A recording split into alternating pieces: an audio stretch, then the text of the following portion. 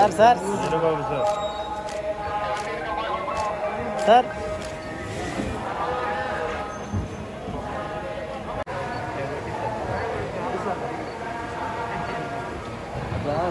Sir sir sir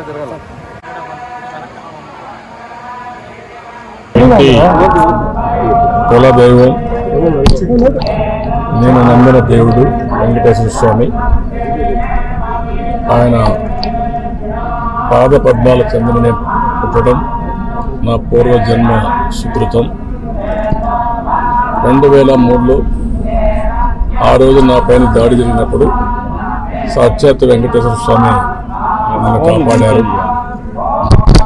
అదే మరిగా ఎప్పుడు నేను వచ్చిన వెంకటేశ్వర స్వామిని ఒక పవిత్రమైన భావంతో ఒకటే కోరుకుంటాను. ధర్మాన్ని కాపాడే ముందుకు తీసుకోవాల్సిన అవసరం ఉంది. ధర్మాన్ని మనం కాపాడితే ధర్మం మనల్ని కాపాడుతుంది. అదే ఎప్పుడు వెంకటేశ్వర స్వామి ఇచ్చే ఆదేశం. అందుకనే ఈరోజు నేను కోరింది ఈ రాష్ట్రానికి అన్ని విధాల సుఖం కలగాలని అన్ని విధాల మంచి జరగాలని మనస్ఫూర్తిగా ఆకాంక్షిస్తూ ప్రజల ఆరోగ్యం అదే మరిగా ప్రజల సంపద కానీ కష్టాలు కానీ పూర్తిగా తీర్చమని వెంకటేశ్వరం కోరుకున్నారు. అదే సమయంలో వెంకటేశ్వర స్వామి పవిత్రత. మనకు ఉండేదే పెద్ద ఆస్తి వెంకటేశ్వర స్వామి రాష్ట్రాలు. ఆయన పవిత్రత కాపాడుకుంటే వెంకటేశ్వర స్వామి శాశ్వతంగా ఈ రాష్ట్ర ప్రజలకి ఎప్పటికీ ఆశీర్వదిస్తూ ముందు తీసుకుపోయే అవకాశం ఉంటుంది. ఆ పవిత్రత కాపాడడానికి అందరూ కూడా పనిచేయాల్సిన అవసరం ఉంది. ఆ పవిత్రత కాపాడేదానికోసం మరొకసారి పిలిపిస్తూ ఈరోజు నేను ఇక్కడ రాజకీయాలు మాట్లాడడం లేదు. నేను మాట్లాడేది వెంకటేశ్వర స్వామి పవిత్రత. అదే మరిగా అందరం కలిసి ఈ పవిత్రతను కాపాడుకుంటూనే మన సాంప్రదాయం ఈరోజు ఒక రోజు రెండు రోజులు కాదు ఇది మనకు వచ్చిన వారసత్వం.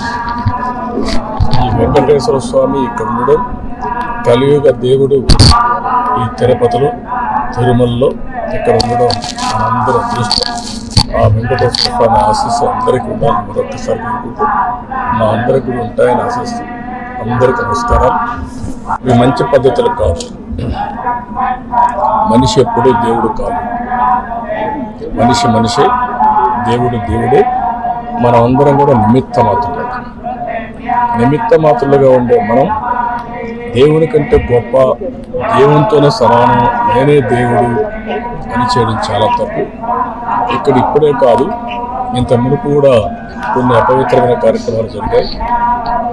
ఏదైతే ఆరో పింక్ డైమండ్ ఇవన్నీ కూడా అలాంటి అపవిత్రమైన సంఘటనలు జరిగినప్పుడు అలాంటి వ్యక్తుల్ని మళ్ళా పెట్టుకొని ఇంకా అపవిత్రం చేస్తే మంచిది కాదు. ఇది ఒకరిద్దరికి సంబంధించిన విషయం కాదు. కొన్ని కోట్ల మనోభావాలు ఆ మనోభావాల్ని కాపాడాలంటే మనం వెంకటేశ్వర స్వామి పవిత్రత కాపాడితే ఆ మనోభావాలు కాపాడతాం. ఆ విషయం అందరూ గుర్తుపెట్టుకోవాల్సిన అవసరం.